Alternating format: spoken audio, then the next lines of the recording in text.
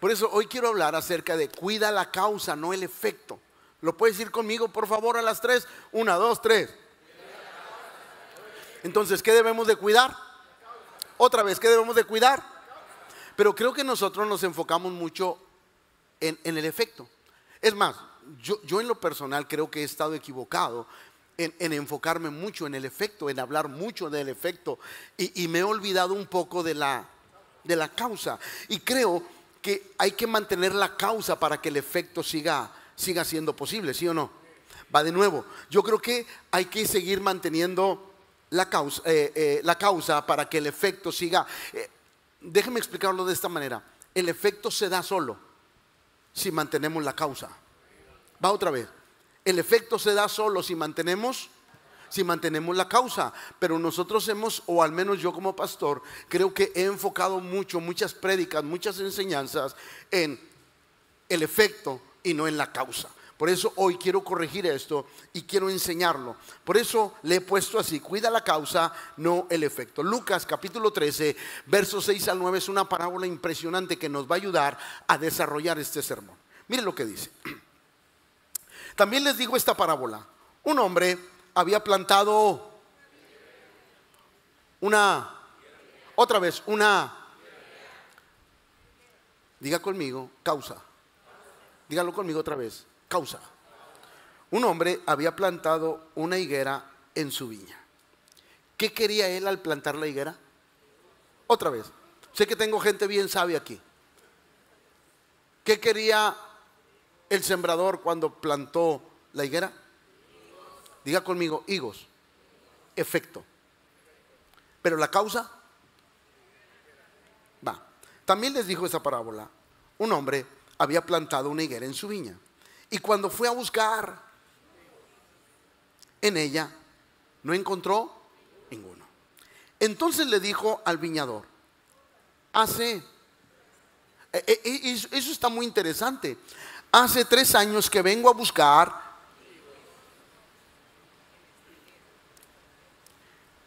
Hace tres años que vengo a buscar higos en esta y nunca encuentro uno solo. Córtala para que no se desaproveche también la tierra. Pero el viñador le dijo, Señor, déjala todavía un año más hasta que yo le afloje la tierra y la abone. Si da fruto, qué bueno, y si no, córtala entonces, diga conmigo, el fruto es importante, pero es más importante la viña. Es más importante el árbol que los frutos. ¿Por qué, pastor? Porque sin árbol no hay. Otra vez, sin árbol no hay. Y todos le ponemos mucha atención al fruto, lo cual, diga conmigo, no es malo. Pero para que el árbol dé frutos, tenemos que ponerle atención al árbol, tenemos que hacer cosas para que el árbol pueda producir los frutos que estamos diciendo. Por ejemplo, la razón de ser del árbol, ¿qué es? Dar fruto. Cuando Jesús maldijo la higuera, la maldijo ¿por qué? Es más, Jesús no maldijo a la higuera. Jesús le dijo, nadie más coma de ti fruto. Y la higuera, porque se secó. Porque el propósito era que la higuera diera. Y si Jesús dijo, nadie más, coma de ti fruto, la higuera dijo, ¿para qué estoy? Si yo estoy para dar fruto, entonces, aplicándolo a la vida cristiana y a la vida espiritual, todos estamos aquí para dar fruto. Y eso quiere decir que el Señor cada cierto tiempo en nuestra vida viene y examina nuestra vida para ver si estamos dando dando fruto como lo hizo eh, como lo hizo este viñador y le dice, "Señor, déjala un año más. Vamos a darle chance a un año más. ¿Para qué? Para ver si voy a trabajar en el árbol, voy a trabajar en la tierra, voy a excavar, voy a aflojar la tierra, le voy a poner abono para que eh, el árbol pueda producir. Si en un año el árbol produce, qué bueno lo dejas y si no produce lo lo cortas. Ahora, es importante entender, es importante entender esta parte de la, de la Biblia. ¿Por qué? Porque vamos a comprender por qué el Señor hace este tipo de cosas. Mire lo que dice, y, y perdón, pero voy a estar así. Romanos capítulo 11, verso 17 dice, si alguna de las ramas fueran cortadas, ¿y tú qué eras? Otra vez, ¿y tú qué eras? No, no, por favor participe, ¿y tú qué eras? Olivo silvestre, para los que no saben, una, una, una de las traducciones de la Biblia dice que éramos olivos corrientes, o sea, una rama corriente. Dígale al que está a tu lado, rama corriente. Porque la Biblia dice que así éramos, éramos una rama corriente, dice, fuiste injertado en su lugar y has venido a participar de la raíz y de la... Es decir, nosotros, nosotros éramos una, un árbol con una rama corriente. ¿Por qué? Porque estábamos injertados ¿dónde? Ahí va. Antes de conocer a Jesús, ¿dónde estábamos injertados? ¿Cuál era? ¿De qué nos alimentaba la raíz de nuestra vida? Por eso la Biblia dice que fuimos trasladados del reino de las tinieblas al reino de su amado Hijo. Entonces, eso quiere decir que, como dijo el apóstol Pablo, nosotros antes éramos olivos. Salude al corrientazo que tiene al lado. Diga conmigo, éramos árbol corriente. No, no, dígalo por favor, éramos árboles corrientes pero cuando Cristo vino a nuestra vida, no se injertó en la oliva.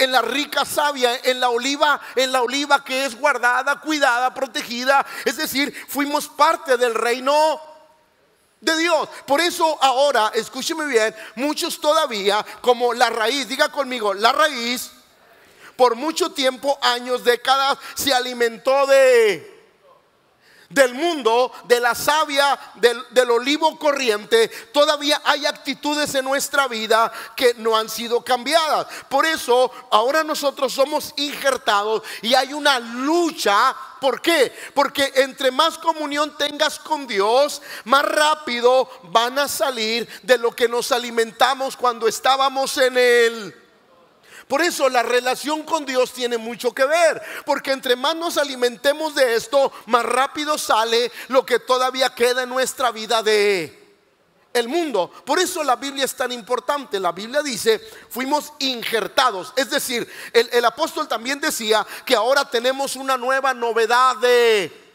de vida, porque ahora estamos en en Cristo Jesús. Entonces, de esa manera nosotros nos empezamos a alimentar. Por eso el olivo verde es un árbol, es un árbol que sale en el monte. Diga conmigo, en el monte que nadie lo cuida, nadie le hace nada, está feo, mal cuidado. Y el olivo cultivado es un olivo bien cuidado, con hojas verdes, que da su fruto en su tiempo, que le cuidan la tierra, que le cuidan las plagas, que hacen todo lo necesario para que el árbol sea productivo. Entonces, lo que Dios nos quiere decir es esto, porque es algo sumamente importante. Ahora, el Salmo 1.3 dice una verdad para reafirmar lo que quiero hablar. Serás, otra vez, dígalo, serás. Ah, qué importante, diga conmigo, importante. Serás como el árbol plantado junto a las corrientes que da su fruto en su tiempo y su hoja no cae y todo lo que hace, ¿por qué? Porque ahora está,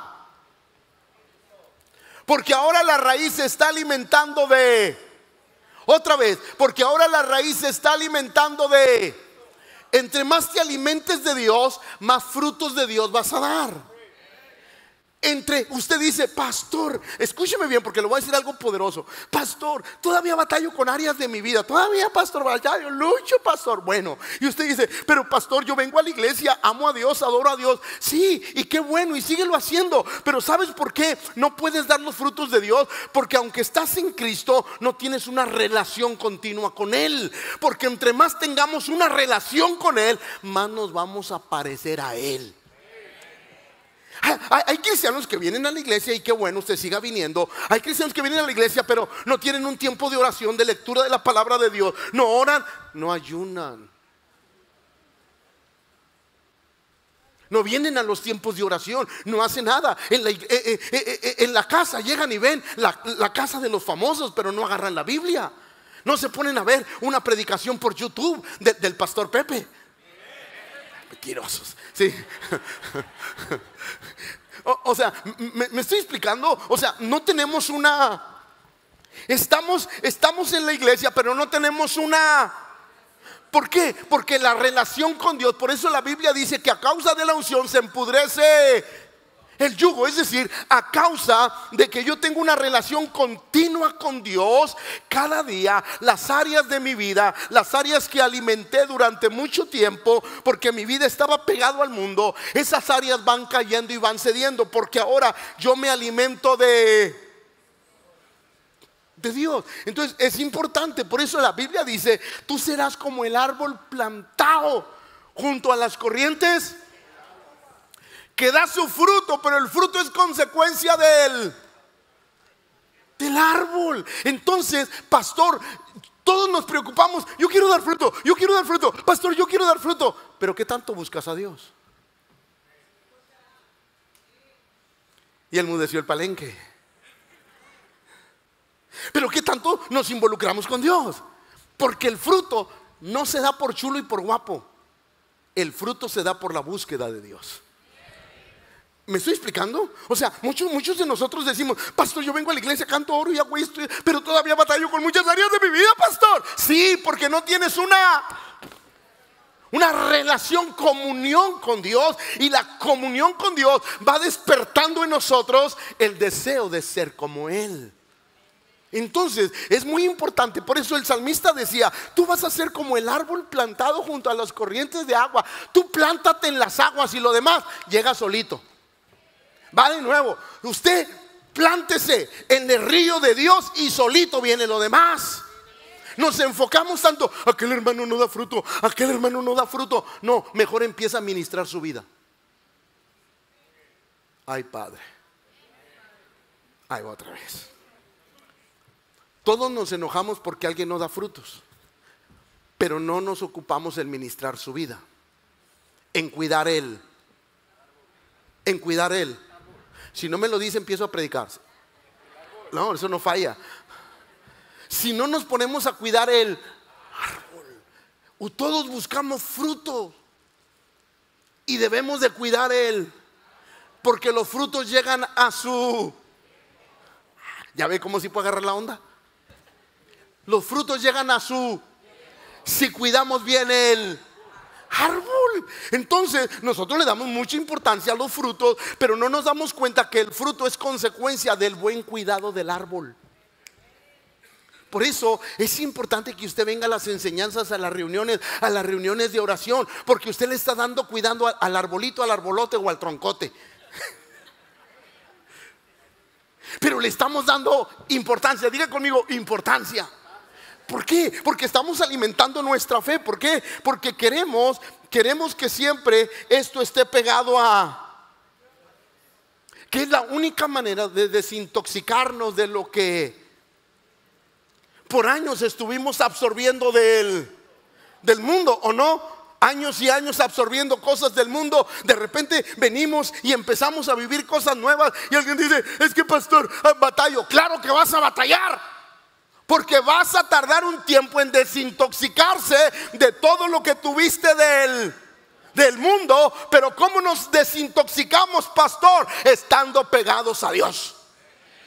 Es la forma en que nuestra vida empieza a, a cambiar. Por eso el salmista dice una realidad ahí. Tú serás como el árbol plantado junto a las corrientes de agua, que da su fruto en su tiempo y su hoja no cae. Y todo lo que hace prosperará. El fruto es consecuencia del árbol y no el árbol consecuencia. Entonces, ¿a qué le debemos de dar más importancia? Otra vez, ¿a qué le debemos de dar más importancia? Debemos de... ¿Por, qué quiero hacer la conexión para hombres?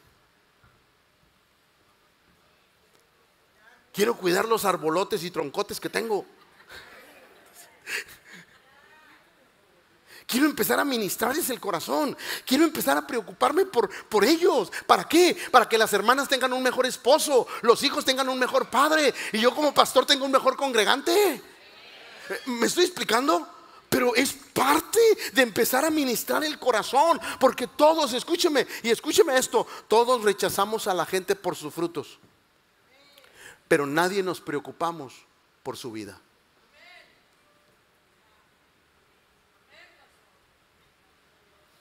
¿Sí o no? No, no, acabes de tragar la saliva, ¿sí o no? ¿Y qué nos debe de importar más? ¿Qué nos debe de importar más?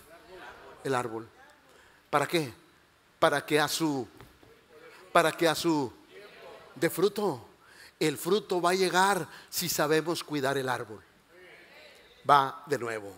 El fruto va a llegar si sabemos cuidar el árbol. Por eso es sumamente importante. El árbol se cuida, se abona, se riega y se poda. ¿Me escuchó? ¿Para qué, ¿Para qué las hermanas le cortan las ramas a los árboles? Para que la próxima temporada dé más. Así es Dios en nuestra vida. Dios llega a nuestra vida y empieza a quitar cosas. ¿Para qué? Para que el año que viene, la temporada que viene, seamos más productivos. Miren lo que dice la Biblia, Juan 15, 2. Escuchen. Todo, otra vez dígalo, todo pámpano que en mí lo quitará. Y todo aquel que lleva fruto lo para que lleve más. Por eso de repente la gente te dice, ay, tú cada día eres más exagerado. Sí, es que te estás limpiando. Y como te estás limpiando cada día te... Ay, no me digan que no saben los ademanes.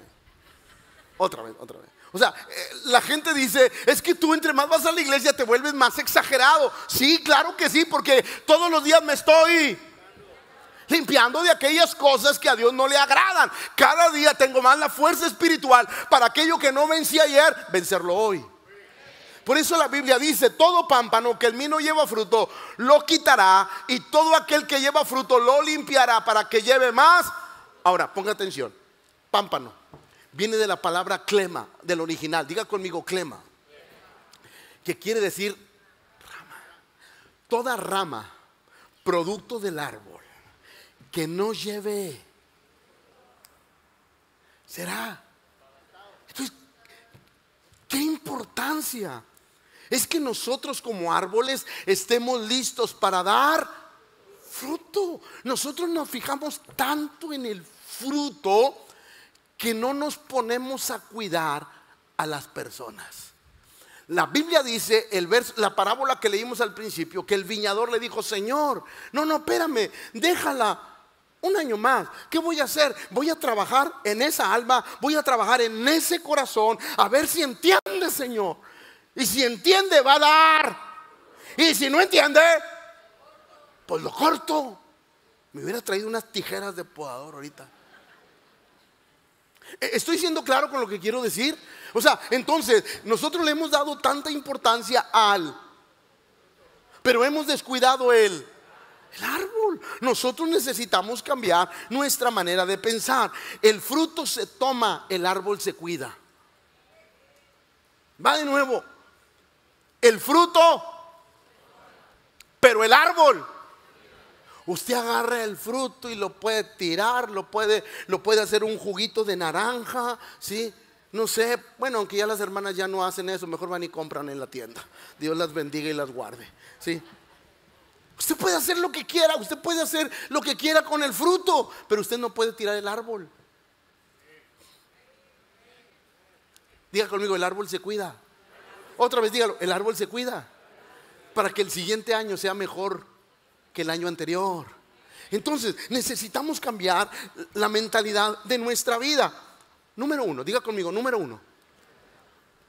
Para que este árbol sea muy productivo, diga conmigo, productivo. La primera cosa que todos debemos de entender es la relación. Diga conmigo, relación. ¿Qué tanta relación tenemos con Cristo? ¿Qué tanta relación tenemos con Dios? ¿Qué tan relacionados estamos con Dios en, nuestro corazón, en nuestro espíritu, en nuestra alma? ¿Qué tanta relación tenemos con Dios? Porque es muy importante. Escuche lo que la Biblia dice. Y esto es algo bien interesante. Escuche, ¿qué dice la Biblia? A ver, a ver, despertados dijo el Señor. ¿Qué dice la Biblia? Ah, número uno, diga conmigo, relación. Permanezcan en mí.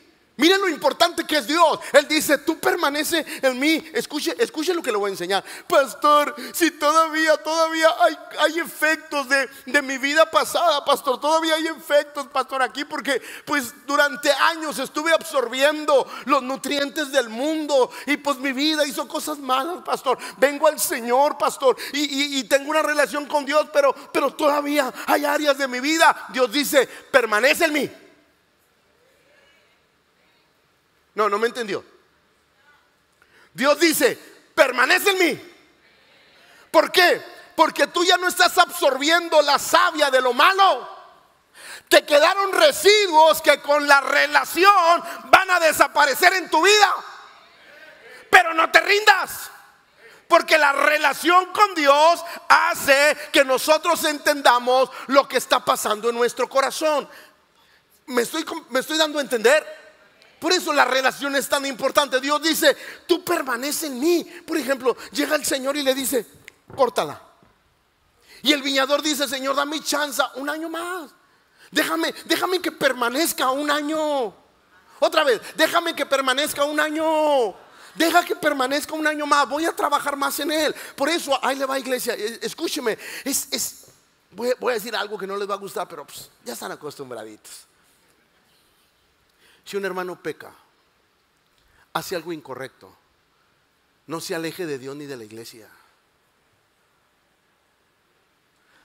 Denos oportunidad de aflojar la tierra, abonarlo, para que pueda volver a dar fruto. Pero si usted hace algo malo y se va de la iglesia, usted no quiere crecer. ¿Quiere seguir siendo la misma?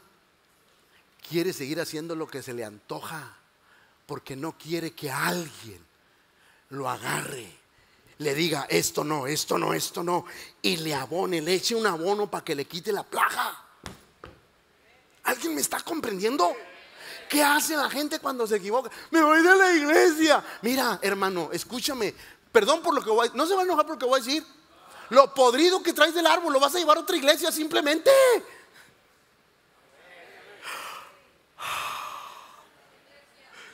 Sí. Es la verdad.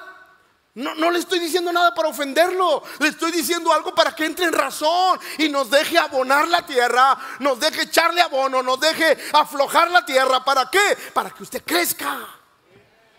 Porque ese es el deseo de Dios. Permanezcan en mí. No, pero ahí va, ahí va, ahí va. No, no, esto se va a poner sabroso. Permanezcan en mí y... Ah, entonces, no se trata de que solamente vengamos a la iglesia, se trata que Dios viva en nosotros. Va otra vez. Porque la Biblia dice que es una, es un, diga conmigo, relación. Una relación para que sea una relación es de dos personas. Otra vez, una relación para que sean relaciones de dos personas. Y que dice el Señor, permanezcan en mí pero para que la relación sea buena, yo tengo que permanecer en ustedes. Va otra vez. Por ejemplo, la Biblia dice que aquellos hombres al final le dijeron, Señor, en tu nombre echamos fuera demonios, hicimos milagros y el Señor les dijo, ni te conozco, mi chato. Eso quiere decir que ellos, ellos, pero Él no permaneció en ellos. ¿Alguien lo está comprendiendo? Entonces, ¿para qué se quedan callados? Ahí, otra vez, otra vez, otra vez. Ellos permanecían en, pero él no permanecía en ellos. Entonces es muy importante saber que hoy yo permanezco en Dios, pero Él permanece también en mí. Porque la vida cristiana es una relación de dos de dos personas, de dos vías. No solamente es, Señor, yo vengo a la iglesia, pastor. Pastor, déjenme siento donde nadie le echa nada. Pastor, yo vengo a la iglesia, pastor, oro, hago esto y hago esto. Pero evangelismo, no hombre, yo no voy. Maná del cielo, no hombre, yo no voy. Enseñanza, no hombre, yo no voy. Evangelizar, no hombre, yo no voy. No, yo no voy. No, yo vengo a la iglesia. Yo yo te quiero decir algo. Tú permaneces en, pero quizás Él en ti. No. ¿Y usted cómo se atreve a juzgarme, pastor? Ah, porque si Cristo está en tu vida, va a despertar un deseo por hacer su obra.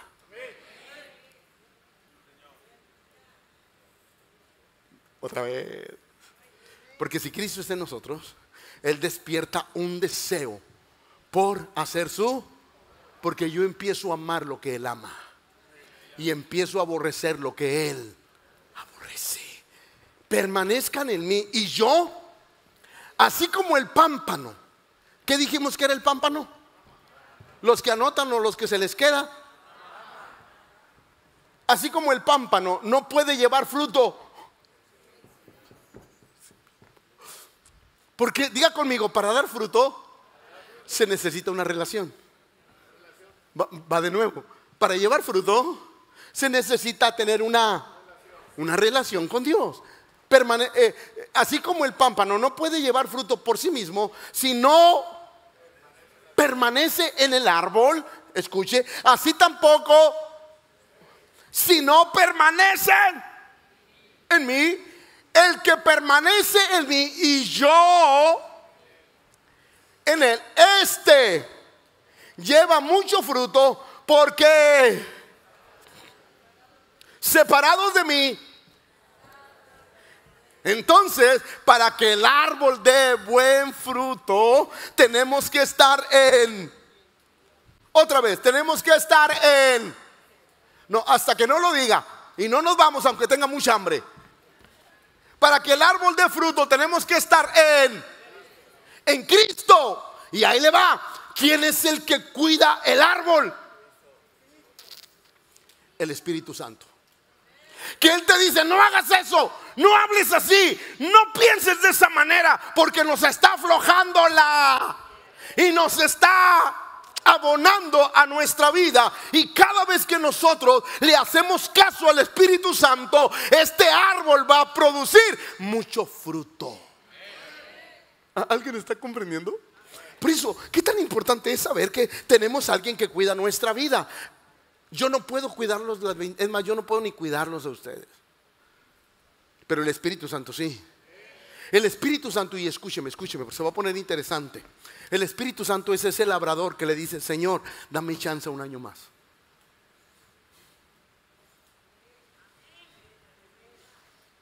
Es el Espíritu, Señor, dame chance un año más. Voy a, voy a, a reprenderlo más. Voy a hacer cosas con su Dame chance un año más. Porque el trabajo del Espíritu Santo es convencernos. ¿Es que Entonces, el Espíritu Santo le dice, le dice al Señor, Señor, un año más, un año más, dame chance un año más de trabajar con esta almita para, para ver si lo convenzo para que dé mucho.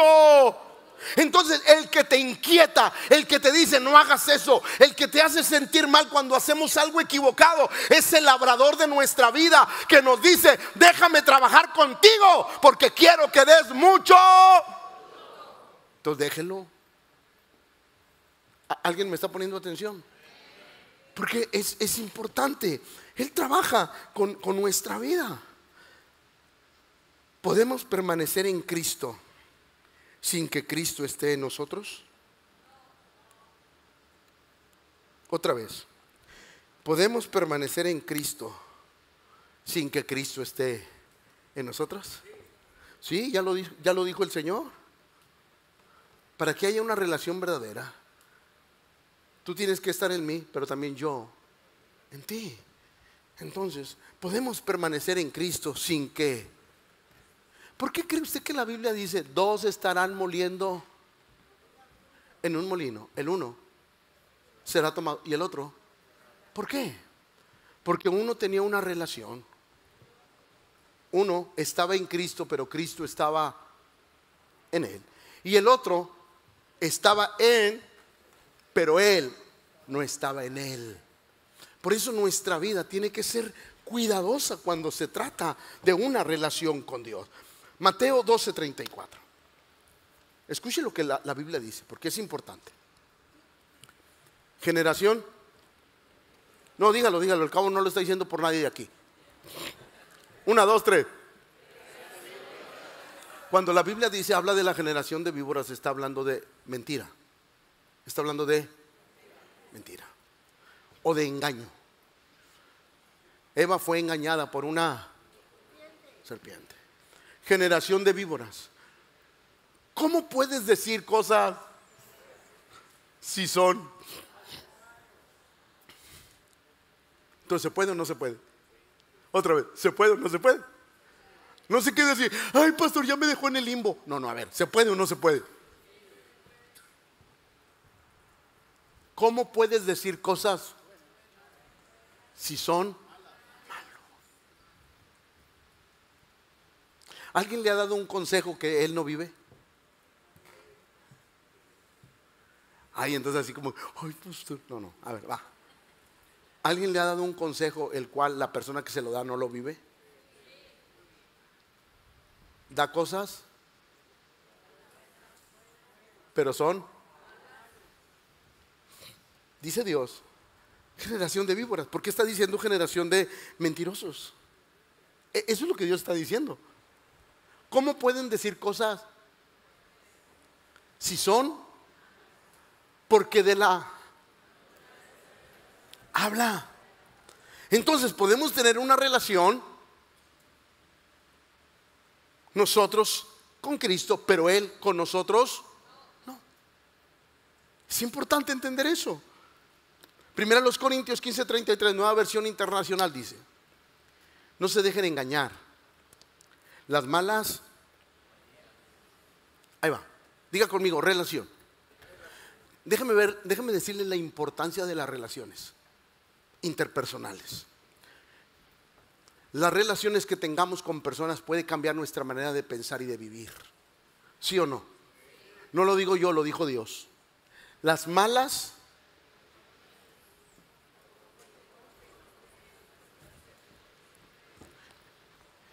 entre más relación tenga yo con, ¿qué va a pasar?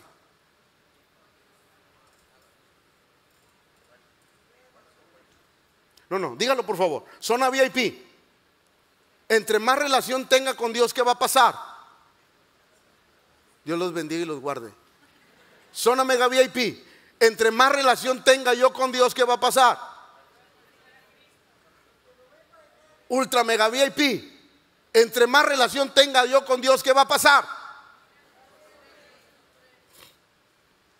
¿Por qué? Porque mi relación con Cristo va a afectar mi diario vivir, mi manera de pensar, mi manera de ser y mi manera de actuar. Entre más relación tenga yo con Dios, más me voy a parecer a Él. Ahora, déjeme decirle algo, pastor, yo no tengo una relación con el mundo, pastor, pero todavía batallo con cosas. Claro, porque solamente estás pegado, pero no tienes una relación. Mientras no tengamos una relación con Dios, las bacterias que agarramos del mundo nunca van a salir de nuestro espíritu. Va de nuevo. Porque esa me la acabo de sacar de la manga. Podemos tener o pretender tener una relación, pastor, vengo a la iglesia. Pero todavía pastor, batallo mucho con Tengo años, pastor, y batallo con cosas.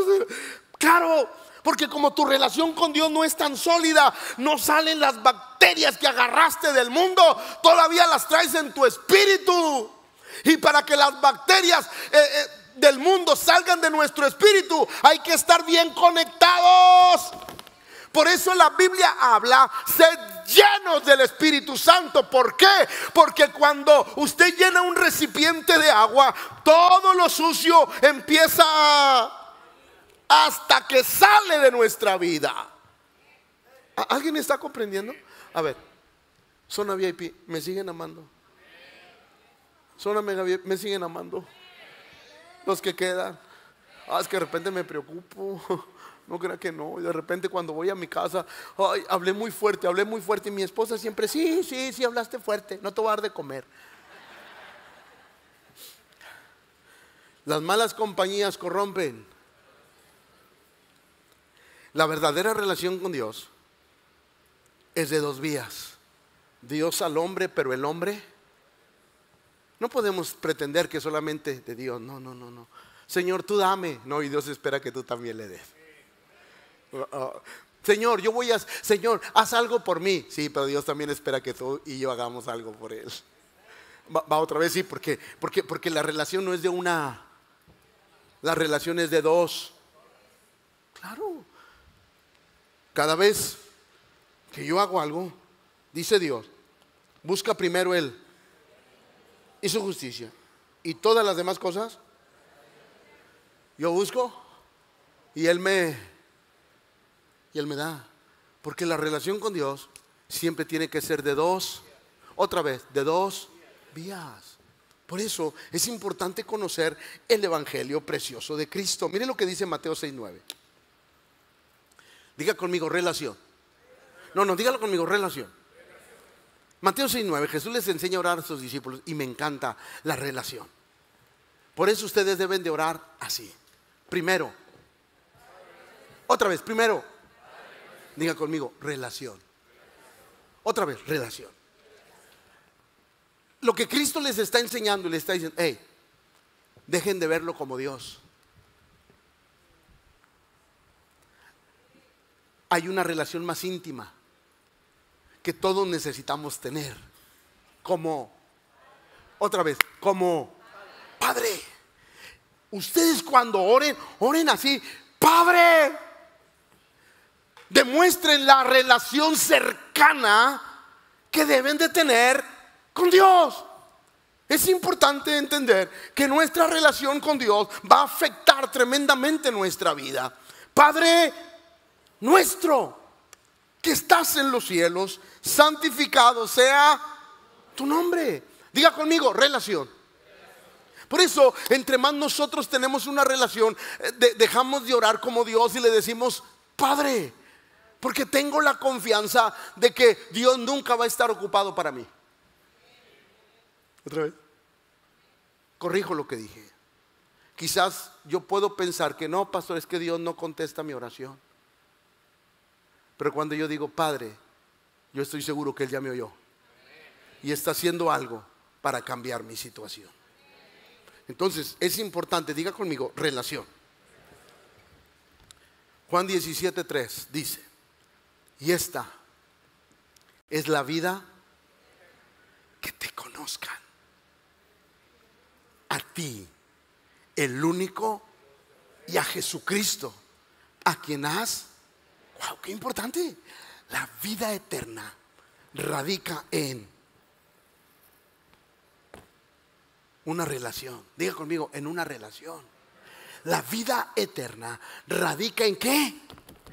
En una relación con Dios. Esta es la vida eterna que te conozcan, que sepan quién eres tú, que te conozcan a ti y que conozcan tu obra, que conozcan tu mover, que conozcan tu sentir, que conozcan tu pensar. Esa es la vida. Diga conmigo, relación. No, pero dígalo fuerte como que lo cree, relación. Hechos 4:13. Al, al ver el valor de Pedro y de Juan, ¿Y cómo sabían que ellos eran gente del pueblo y sin mucha preparación se maravillaban al reconocer que habían estado, otra vez, que habían estado, otra vez, otra vez, que habían estado? Dígame si no, los tres años de convivencia afectaron la vida de Pedro. Los tres años de convivencia afectaron la vida de los discípulos. Porque ahí dice, al ver el valor de Pedro y de Juan, ¿Y cómo sabían que ellos eran gentiles, gente del pueblo y sin mucha? Se maravillaron de al reconocer que habían. La relación con Dios afecta nuestra vida. Y esas personas dijeron, esto no sabe nada, pero sin duda han estado con alguien, porque su manera de ser es diferente. Entonces la relación que tengamos con Dios, nuestra relación va a hacer que produzcamos frutos. Por eso, cuando un creyente tenga tiempo en la iglesia y no se le vean frutos, no lo regañes. Ministrale el corazón. No, va de nuevo, porque como que con eso batallamos todos. Cuando veas que un creyente no produce frutos, ministralo empieza a trabajar en, en el árbol, en la tierra. ¿Para qué, pastor? Para que empiece a dar. Y si usted como árbol, un hermano hermano, ven, quiero hablar contigo, mira eso no. ¿Y a ti qué te importa? Hermano, te quieren ayudar. Otra vez, te quieren ayudar. Ah, ¿usted qué le importa? Fíjese en usted. Qué bendición que alguien se fije en nosotros. Va, de nuevo, qué bendición que alguien se fije en nosotros. Para ayudarnos a corregir nuestro diario vivir. Por eso es sumamente importante. Moisés era un hombre que había aprendido acerca de la relación. Si tú no vas a venir conmigo, no voy a ningún lado, Señor. Porque separado de ti, separado de ti no puedo dar fruto, el fruto que quieres. Y en el desierto se necesita dar buen. Otra vez, en el desierto se necesita dar buen entonces Moisés dijo, no Señor, espérame, espérame. Si, tú no vas conmigo, no me saques de este lugar. ¿Por qué? Porque he entendido que la cercanía contigo me hace tomar buenas decisiones. Que la cercanía contigo me hace ser una persona diferente. Que la cercanía contigo me hace pensar de una manera totalmente diferente. Pero me aguanta la segunda, al cabo todavía hay barbacoa ahí afuera. La primera, ¿cuál fue? Para el cuidado de él. ¿La primera cuál fue? Segunda. Dígalo conmigo, el cuidado. No, dígalo por favor, dígalo fuerte, el cuidado. Lucas 13, 8 y 9 dice, pero el viñador le dijo, Señor, déjala todavía un año hasta que yo le afloje la tierra y la abone. Si da fruto, qué bueno, y si no, se cuida el árbol, no el fruto. No puedes cuidar el efecto. Hay que cuidar, otra vez, no hay que cuidar el efecto, hay que cuidar la causa. Por eso se cuida el árbol, no el fruto. Voy a decir algo, y esto creo que pasa en todas las iglesias, y esta no será la excepción. A la gente se le desecha, se le desecha por falta de, por falta de, estamos bien o estamos mal. ¿Estamos mal? ¿Sí o no? Otra vez, ¿sí o no? Estamos mal. Ahora, una persona que da malos frutos debe de estar en un altar. ¿Otra vez? ¿Una persona que da malos frutos debe estar en el altar? No, no, no. No te voy a desechar, pero no puedes estar aquí. Pero mientras te voy a poner aquí, te voy a cuidar, voy a abonar, voy a acabar la tierra, a removerla, te voy a abonar para ver para ver si en un tiempo empiezas a producir los frutos que dejaste de dar. ¿Qué hace alguien cuando es disciplinado y se va de la iglesia? No quiere ser. No quiere ser y se va a ir a otros lugares con las mismas mañas. Y las mañas mañana, dentro de un año, dentro de dos, van a seguir brotando porque son los frutos que da ese árbol. Porque no se ha dejado cuidar y abonar. Entonces, el problema es que hemos, hemos perdido el cuidado que debemos de tener con las cosas. Se cuida el árbol, no. El fruto es consecuencia del cuidado que se le da al árbol. Mateo 17, 7 al, 17 al 20 dice, del mismo modo, todo, no, no, quiero que lo diga, por favor, del mismo modo, todo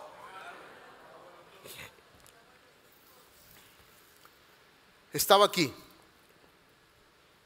Llega Jesús a mi corazón. Me conecto aquí. Porque me conecto aquí, soy buen árbol.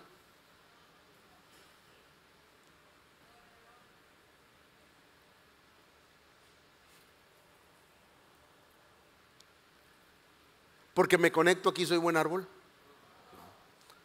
Pero estoy en buena tierra para hacerlo.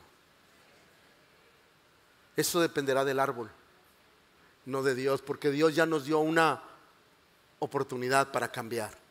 Escuche, del mismo modo, todo da buenos, todo buen árbol, diga conmigo, todo buen árbol es consecuencia del trabajo y del cuidado. Nadie somos buenos árboles. Perdón por lo que voy a decir y espero que en el conocimiento bíblico me pueda entender. Nadie somos buenos árboles porque llegamos a Cristo.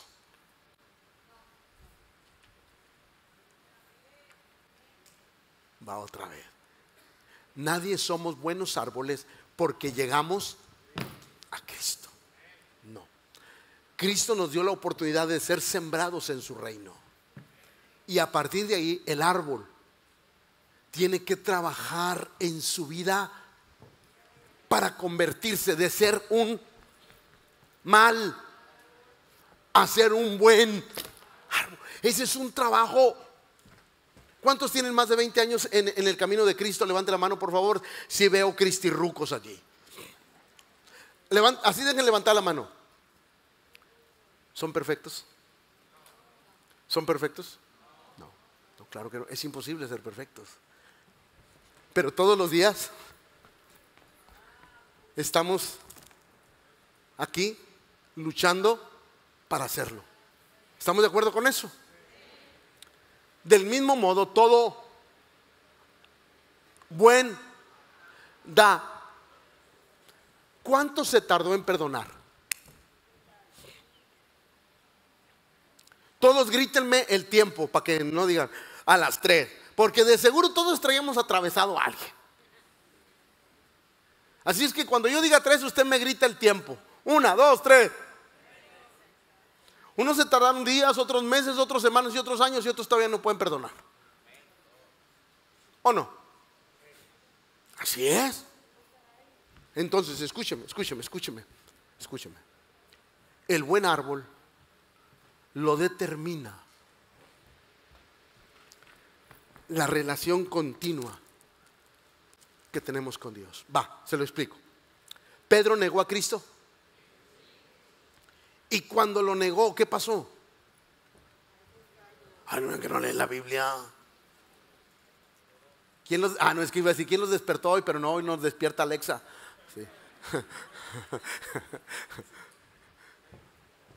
en el rancho, ¿quién despierta? El gallo, el kikiriki. Todo buen árbol da buenos, pero el árbol malo da la pregunta es, ¿cuándo te empiezas a convertir en buen árbol?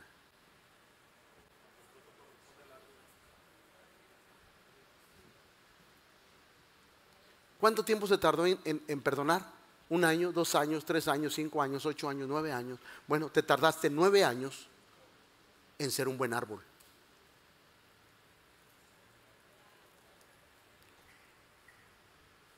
Porque todos los días el Espíritu Santo venía y nos aflojaba la tierra. Eh, acuérdate que tienes que perdonar. Y venía y nos echaba bono. Te ponía la persona enfrente. ¡Qué difícil, Señor! ¡Qué difícil es perdonar! Sí, pero te estás haciendo daño en tu corazón. ¿Y cómo aprendimos a ser buen? Dando, dando buenos frutos. Del mismo modo, todo buen árbol da buenos, pero el árbol, pero el árbol da malos. Yo sé que lo tengo que perdonar. La Biblia dice, pero aún no siento perdonarlo. ¿Y quién le digo a usted que el perdón es un sentir? El perdón es una decisión. Porque si fuéramos, si nuestra vida espiritual se basara en sentir, seguiríamos siendo las mismas personas. No, pastor, no siento dejar de tomar. No, pastor, no siento dejar de drogarme. No, pastor, no siento dejar, dejar a, a las tres casas que tengo. ¿Quién le dijo que esto es de sentir? Porque si por sentir sería quizás mucho, no sentirían dejar de hacer lo malo. Esto no es una cuestión de sentir, es una cuestión de convicción de que nos estamos convirtiendo de malos a buenos árboles. ¿Para qué? Para que el árbol, donde esté el árbol, es el fruto que va a dar. Yo no puedo dar frutos buenos aquí porque la tierra está contaminada. Pero acá no debo de dar malos frutos porque estoy en una tierra fertilizada. Entonces, dependiendo dónde esté, en los frutos que tengo que dar. Del mismo modo, todo buen árbol da buenos frutos, pero el árbol malo da... El buen árbol no puede dar fruto. Escúcheme iglesia, una vez que tú aprendiste a perdonar, ese fruto debes de mantenerlo. Con unos sí, pastor. Con otros no. No, no, no puede dar agua dulce y agua amarga.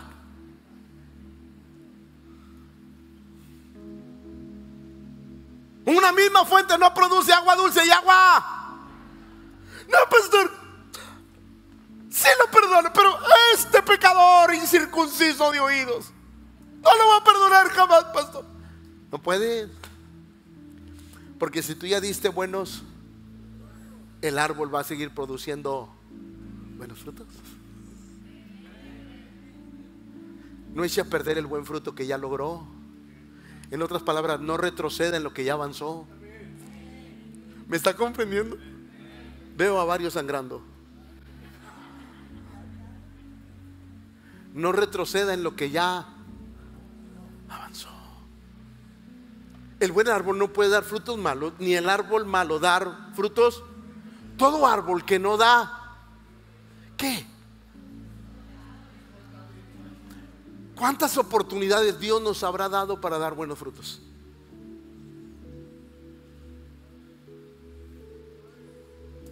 Cada vez que tú reniegas porque hay escasez en tu vida, cada vez que reniegas porque no hay un peso en la bolsa, cada vez que reniegas por la situación económica, ¿sabes qué es? Es Dios aflojando la tierra, abonándote. ¿Para qué? Para que cuando venga el frío, venga el calor, tú sigas produciendo frutos. Que lo de afuera no prive a nuestra vida de seguir dando, siendo buen árbol, que es lo que Dios quiere. Por eso la Biblia dice, la Biblia dice que serás como el árbol plantado junto a corrientes de agua, que no importa si llueva, truene, relampaguee, no importa si cae nieve, no importa lo que venga, tú vas a seguir dando frutos en cualquier temporada porque estás pegado al río de Dios. ¿Alguien me comprende? Por eso, todo árbol que no da fruto es cortado y echado. Así que ustedes, los los conocerán por qué. Por fruto. El fruto, el fruto, diga conmigo el fruto. Es la evidencia de dónde está mi relación. Otra vez. El fruto es la evidencia de con quién tengo una mayor. Una mayor. No, no dígalo, una mayor si usted nomás está pegado a la casa de los famosos y no ora. Hoy sale Agustín, hombre, ya.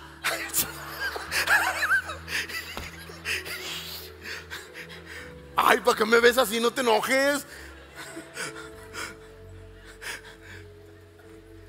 Todos los que se rieron. Diga conmigo, la relación marcará los frutos. Si mi relación es profunda con Él, mis frutos van a ser. Pero si mi relación profunda es con, mis frutos van a ser. ¿Dónde está tu relación?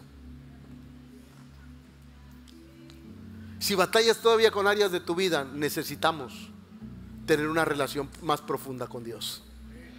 ¿Alguien me está comprendiendo? Porque la relación profunda con Dios nos hace, nos hace entender esto. Muy rápido. Aflojar, aflojar o cavar. ¿Se acuerdan que cuando Elías trae al pueblo al monte Carmelo para reconciliarlos con Dios? La Biblia dice que Elías juntó 12 piedras, restauró, la Biblia dice que restauró el altar, dígalo conmigo, restauró el altar. Pero él hizo, él hizo algo. Con las 12 piedras se edificó un altar en honor al nombre del Señor. Luego cavó una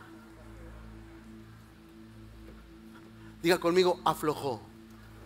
dígalo conmigo, aflojó, aflojó la tierra, en donde cupieron dos medidas de grano. Lo primero que Elías hizo para volver a juntar el pueblo con, con Dios, volver a tener una, volver a tener una, porque Dios tenía una relación con el pueblo, por eso les mandó Elías. Pero el pueblo no tenía una relación con Dios. Dios los quiso acercar. Y le dice, haz esto, Elías. Pero una cosa importante que tú tienes que hacer es cavar. Diga conmigo, separar. No, dígalo conmigo, separar. Hermanos, para dar fruto hay que separarnos de algunas cosas. Y a veces hasta de algunas personas.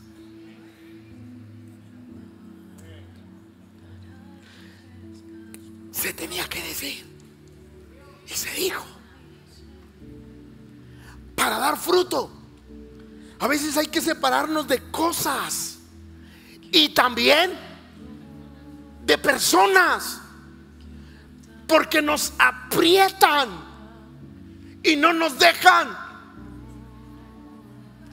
La raíz del árbol tiende a... Y hay cosas, personas que no nos dejan extendernos. Porque la raíz, entre más grande y profunda, más fuerza tiene. Y más rápido va a producir. Dios le dijo a Elías, cábalo. Haz una separación, Elías. A partir de este momento tiene que haber una separación, Elías. Y para eso haz una zanja entre el altar de Dios y las otras cosas. Elías empieza a reparar y todos sabemos la historia. El fuego cayó. ¿Qué tenemos que dejar? Para poder producir. Para poder producir. Muchos de nosotros decimos, no hombre, yo dejarme de este, no hombre, no hombre, no hombre, yo no me dejo de este ni de nadie. Bueno, este ni nadie está impidiendo que el dominio propio se vea en tu vida.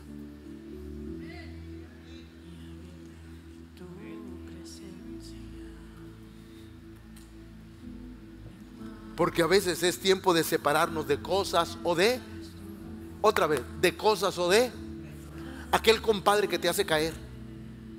Órale, compadre. Ok, ya no está nombrecito. Ahora lo manda la señora. Ahora no se puede echar ninguna, compadre. Órale. ¿Y tú? ¿Para qué no digas, compadre? Que no me manda la vieja. La regaste. Caíste no puedes dar fruto. Es que tengo que hacer, pastor. Aléjese. Toda la vida, pastor, mientras usted soporte. Porque cuando usted pueda soportar las tentaciones, usted le dice ya no. ¿Cómo? La vieja te manda. No, me manda Cristo. Y empezamos a hacer testimonio a otros. ¿Alguien me está comprendiendo? Jóvenes, ese joven que te incita o esa jovencita que te incita a lo malo. Vamos a la disco. Vamos al rodeo. Ya ni hay, ¿verdad? Vamos a la fe, pero no a la fe de la iglesia, a la fe Music Hall.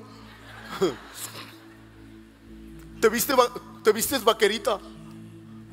Vamos, ándale, te pega el pastor, te regaña la pastora, te dicen algo el liderazgo, en la iglesia te tienen, te tienen como, como monja. Y tú, ah, ¿para qué no digas? Ah, ¿para qué no digas que el pastor me manda? Voy a ir. Y ahí te despotricas. Te encuentras al vaquero malvado. Y pierdes. ¿Por qué, pastor? Porque a veces hay que alejarnos de personas o de cosas. Fue lo que hizo el Señor. Fue lo que el Señor le dijo. El viñador le dijo, déjame, un año la voy a trabajar, voy a acabar, voy a enseñarle que tiene que separarse de cosas o de personas para que pueda dar. Y una vez que tú empieces a dar fruto, cuando te separas de cosas o de personas, tú vas a entender lo beneficioso que fue separarte y lo dañino que fue estar cerca. Tú lo vas a entender y tú vas a empezar a escoger las propias amistades de tu vida. Segunda Timoteo dice, pero el fundamento de Dios está firme y tiene este sello. El Señor conoce a los que son suyos y que se aparte de iniquidad todo aquel que invoca el nombre. Wow. Diga conmigo, hay que apartarse. Quiero terminar, abonar la tierra. Segunda los Corintios 7:1. Así que, amados, puesto que tenemos tales promesas, limpiémonos de toda contaminación de carne y de espíritu, perfeccionando la santidad en el temor. En el temor. Termino, me faltaron solamente tres versículos, pero aquí acabo. Así que, amados, puesto que tenemos tales, limpiémonos. Diga conmigo, tengo que abonar mi vida. Hermano, te vuelvo a decir, te vuelvo a decir algo. Si en tu casa antes, en tu vida pasada, te gustaba la pornografía y, y en tu casa hay, no sé, revistas, cosas de la... ¿Para qué las quieres? Tíralas, rómpelas, deshazte de ellas. Todo lo que te recuerde la vida pasada no hay que guardarlo, échalo fuera de tu vida, porque es tiempo de, es tiempo de, otra vez es tiempo de limpiarnos, es tiempo de sacar lo que nunca trajo bendición a nuestra vida, es tiempo de decir esto ya no me bendice la vida, esto ya no es parte de mi vida, ahora tengo a Cristo Jesús y con Él es más que suficiente. ¿Por qué? Porque diga conmigo, estoy abonando, dígalo, estoy abonando. No, no, dígalo, estoy abonando. Estoy abonando mi vida a mi alrededor. ¿Por qué? Porque no quiero que ninguna plaga vuelva a llegar a mi vida espiritual. Por eso estoy cuidando mi vida, mi alma, mi mente, mi corazón. Y lo estoy abonando con las cosas de Dios. Una de las cosas importantes es, háblele a sus amigos, a su familia de Dios. Le voy a decir algo muy feo, pero real. ¿No se va a enojar por lo que le voy a decir? Amiga, amigos, familia, todos. Cuando usted les habla de Dios, la mayoría de, de las personas tóxicas se van a alejar de nuestra vida. Y estoy hablando de familia y amigos. Y las personas que nos aman, nos respetan, van a seguir ahí, aunque yo les hable de Dios.